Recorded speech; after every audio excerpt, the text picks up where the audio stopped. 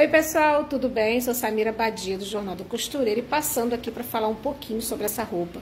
Eu estava passeando no shopping e resolvi tirar uma foto. Ela é uma calça pantalona que no recorte princesa, o que, que é o recorte princesa? É aquela linha que vem descendo aqui, ó, na linha do mamilo. Nessa linha princesa tem um recorte nessa calça, metade para dentro, ela é no, normal, reta, sem nenhum tipo de, é, de babado, nada. E na parte externa do, do, recorte, ou seja, do recorte para a lateral, ela tem duas Marias. Eu achei bem interessante. O valor, 299 reais. Eu creio que é um linho, tá? Mas um linho com risco dourado, tipo risco de giz. E tem ali a blusa, que é ombro nulo, com uma, uma manga tipo boca de sino, né? E aí, por que, que eu estou trazendo essa roupa aqui? O valor da calça, 299 reais. O valor da blusa, 199 reais. Somando tudo, dá 500 reais, né?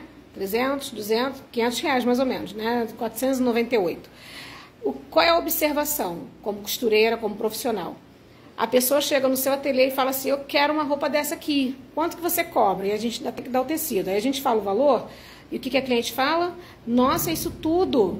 A gente ainda tem que ouvir isso, né? Então, lembrando que tudo que é sob medida, tudo que é exclusivo, modelagem exclusiva, corte exclusivo, tecido exclusivo, confecção exclusiva, a, a, prova exclusiva, uma reprova, uma assim, entre aspas, uma outra prova até o resultado final exclusivo, exige tempo. Então, quando você contratar um profissional, você está pagando pelo tempo a mão de obra, além das despesas e custos.